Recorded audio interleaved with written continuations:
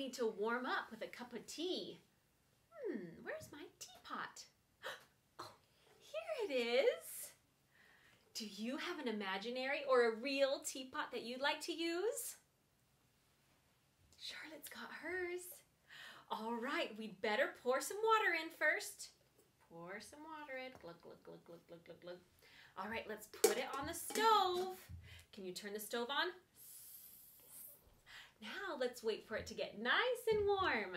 And while we wait, let's sing a song. In this song, we get to pretend to be a teapot. Are you ready?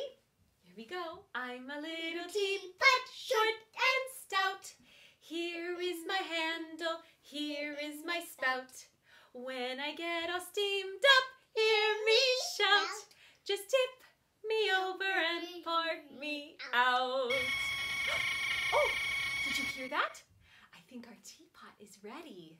The song we sang said that our teapot would shout when it got all steamed up, but I think it sounds more like a whistle. Can I pour you a cup of tea? Roar! Did I hear the word shout? That sounds loud. I love being loud. My name is Forte, and Forte means loud. Hi, Forte! Did you hear the word shout? We're singing about a teapot. When I get all steamed up, hear me shout! Roar! Yay! But Charlotte and I were actually just talking about how a teapot, a real teapot, sounds more like a whistle than a shout. A whistle?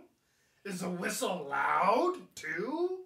Yeah, sure it is. It's loud, but it's more beautiful than a shout.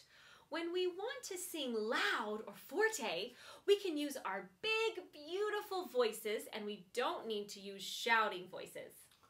Oh, singing loud but not shouting.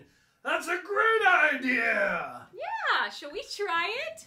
Let's sing I'm a Little Teapot in a big, beautiful forte voice without shouting. Forte, if you like the way we sing, can you give us a big roar at the end? All right, are you ready, Charlotte? Yeah. Sing forte. I'm a little teapot, short and stout. Here is my handle, here is my spout.